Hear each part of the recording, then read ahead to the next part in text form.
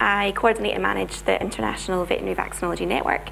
Um, and so I thought it'd be good today to just to update everyone um, on the activities of the network so far. Um, so we launched in August last year um, after receiving 2.2 million pounds from the MRC and the BBSRC through the um, Global Challenges Research Fund. Um, the network is directed by our two directors who are shown here. So firstly, Tim Connelley, um, who's based here at Roslin, and Bryan, who's based down in Pirbright. Um, we're also advised by a network management board which consists of um, 10 international experts across the field of um, human and veterinary vaccinology. The aim of the network is to facilitate the formation of international collaborations um, in order to improve vaccine design and development for both livestock and zoonotic diseases in low and middle income countries. Um, and we will do this by bringing together individuals from across um, the fields of vaccinology, um, irrespective of pathogen or species of interest, with a, a, really key aim of addressing bottlenecks that are preventing the development of veterinary vaccines um, at the moment. Um, so since we launched in August, um, we have welcomed 375 members from across 43 different countries, which are shown here. Um, and importantly, 56% of our members are from low and middle income countries. Um, there are many benefits to being a member of the network, um, some of which are shown here. Um, so firstly, you have access to potential collaborators from across veterinary and human vaccinology. Um, there are networking opportunities for our members um, in the form of annual conferences and also our members can apply to host workshops.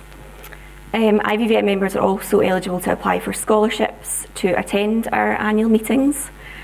Um, we provide funding in the form of pump priming grants, which are up to £100,000 in value, and also lab exchange awards, which are £10,000 um, in value.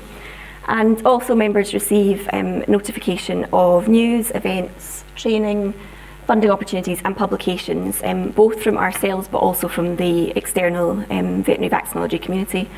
And we do this through our website, social media and also monthly newsletters. Um, so if you're not already a member of the network, um, please do have a look at our website and sign up.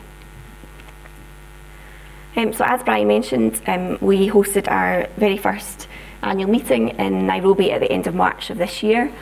Um, so that brought together 115 delegates from across, across 23 different countries. Um, and the meeting was composed of talks um, from international experts on four key themes. So firstly, we looked at vaccines for zoonotic diseases. We then looked at veterinary vaccine production in Africa. We also had talks on synthetic biology and vaccine development and also livestock vaccines here and now. Um, as I mentioned earlier, we have scholarship um, opportunities available for members to attend all of these meetings. Um, and we were able to award 27 scholarships for researchers from low and middle income countries to attend and 10 scholarships um, for early career researchers from the UK to attend this meeting. Um, and the full meeting report and all the presentations are available on our website, so if you are interested, please do have a look. Um, and excitingly, um, we are holding our second conference joint with the UK Veterinary Vaccinology Network, um, and this will be on the 9th and 10th of January in London, so please do save the date. Um, in addition to the um, annual scientific meetings, we also have workshop funding. Um, so our first workshop call was announced a week and a half ago, um, and members can apply to host workshops on a specific topic of their choice. Um, and funding covers host costs, bursaries for attendees, and also scholarships for LMIC researchers to attend. Um, this first call is an open call, and applications will be assessed upon submission. Um, the second thing that we will do is actually host our own workshops. So we held um, our very first workshop um, before the conference in Nairobi. Um, so this was a grant writing workshop. And all of the material from that workshop is available on the website as well, so please do have a look. And um, the last thing that we can do is that we can fund LMIC researchers to attend external workshops that are occurring across the community. So we did this for a fish immunology workshop that was held recently and we will have calls shortly for um, applications for attendees um, to go to the European Veterinary Immunology Workshop and also the first um, meeting of the Comparative and Veterinary Immunology Group, which is in Pirbright at the end of November. So we provide um, networking opportunities, and then the second thing that we do is provide um, funding opportunities to really accelerate our members' um, vaccine research. So the first form of funding that we have um, is pump priming grants. Um, so these are up to £100,000 per project, and they should be from collaborative teams of IVVN members, and they should address a key bottleneck that's currently preventing the development of a veterinary vaccine. Um, so in October 2017, we had our very first call. Um, we had 18 applications and funded the three projects shown here. Um, so the first project is led by Kim Thompson at the Moredun, um, and as we've just heard, it's extremely important to have the correct tools in place to measure um, vaccine responses. So this project is developing tools um, for tilapia. Um, the second project is led by George Warimwe in um, KEMRI in Kenya, and this is looking um, at the thermal stabilisation of a Rift Valley fever vaccine. And the third project that we funded, which was um, the vaccine was nicely introduced earlier by Angie. Um, this is led by Adrian Hill at the University of Oxford, um, looking at a T solium vaccine.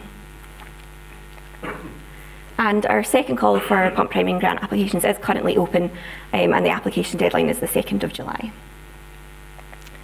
We also have um, lab exchange awards. So these awards are up to £10,000 in value, and really these are to facilitate transfer of expertise between different labs um, across the international network. Um, or allow specialised um, pieces of work to be conducted by our members. Um, and these awards will cover transport and accommodation for the visiting researcher and consumables in the lab um, of a hosting researcher. And our first call for applications is closing shortly, so that's on the 1st of June. So in addition to um, providing networking opportunities and funding, um, we really want to be a central area um, for dissemination of relevant information to the vaccinology community. Um, so at the moment we do this through our website, which is just shown here. We're also on Twitter, so if you're on Twitter, please do follow us at InVetVacNet.